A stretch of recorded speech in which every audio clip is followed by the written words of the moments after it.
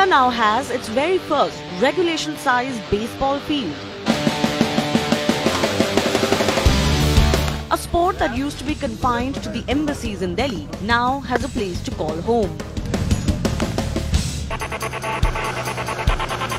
Enter the Field of Dreams.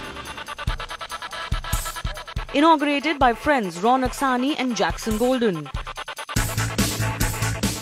The two started Grand Slam Baseball, which provides baseball coaching to kids from private and public schools.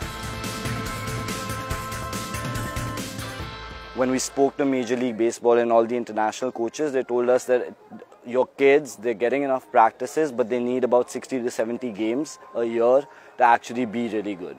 So that's how we started this, and it's really going well. It's been two weeks since we started the Field of Dreams.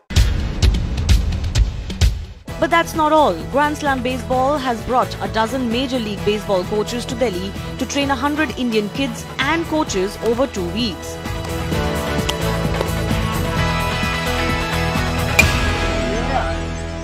the athletes are far more, uh, they have a much better hand-eye coordination than what we've seen in other places.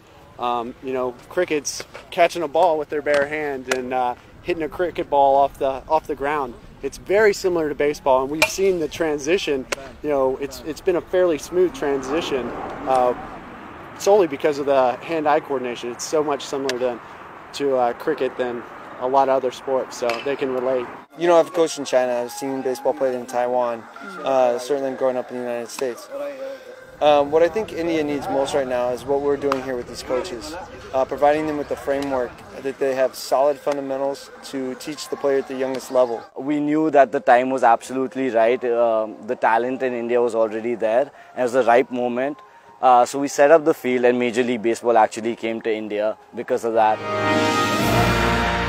Seven years after Rinku Singh was chosen from a reality talent hunt and became India's first pro baseball player, the sport is making slow but steady strides in India. Separation. Three is glove to chest. In Delhi, Shivani Gupta for India Today.